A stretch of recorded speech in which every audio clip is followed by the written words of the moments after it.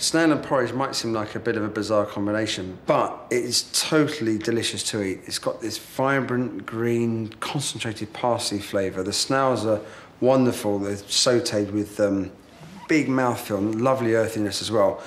You just got to get over the name. What I do to begin with, though, is take these oats just exactly the same as you'd have for breakfast, porridge. I need to get rid of the finer the finer part of these oats, it, it acts like flour and just makes the porridge go too gloopy. This dish is literally two to three minutes from start, starting cooking to actually serving it. Okay, that's probably about fine. Having got excited with the prospect of making snail porridge, I then did think, how popular is this dish going to be? How many people are going to think snails grey gloopy, porridge grey gloopy, together really grey, really gloopy? Served in a grey room with grey people. It all sounds a little bit depressing, really. So the big barrier is snail porridge. So let's bring, try and make the dish as user-friendly as possible by putting all the most delicious things that snails are associated with. So hence parsley, garlic, shallots, ham, almonds, butter, um, and then saute the snails. So you've got something that tastes really delicious.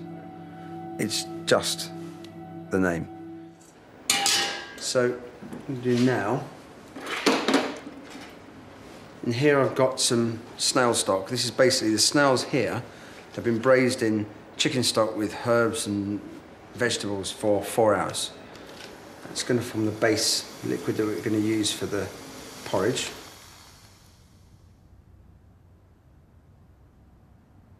Okay, that's hot enough. Just going to put these oats in.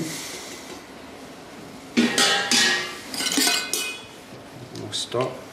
Now we're going to incorporate this butter. Now this, it's got tons of parsley in it. It's got garlic, there's ceps, which is a form of wild mushroom, shallots, ham, almonds.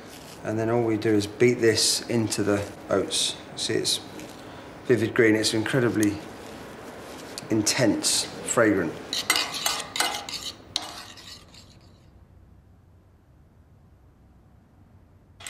That's it's just about ready. I'm going to adjust the seasoning of this now.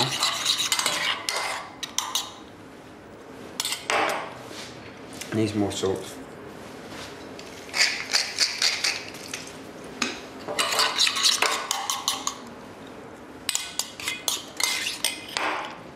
Never tire of eating, heating this stuff.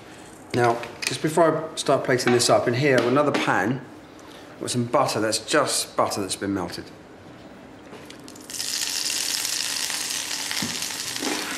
Snails, these are the snails that have been braised for four hours.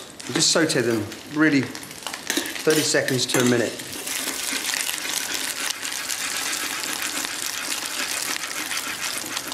Snails cooked in butter, fantastically classical, delicious thing to eat. Okay, now, snail is the, the porridge.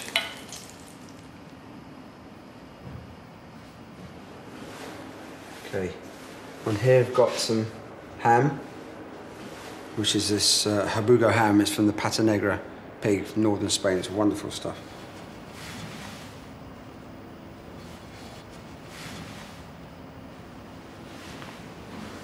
Snails go onto the onto the porridge just finish off, I put this fennel. And here this is some, got some vinaigrette in bottom, which is walnut oil and walnut vinegar. And that goes on top. And that's it. The dreaded, infamous, famous, call it what you want, delicious snail porridge. Um, it's a lot of work. I mean, there is a lot of work to get to get that recipe finished. But if you like snails, then I really do not see how you can not love this dish.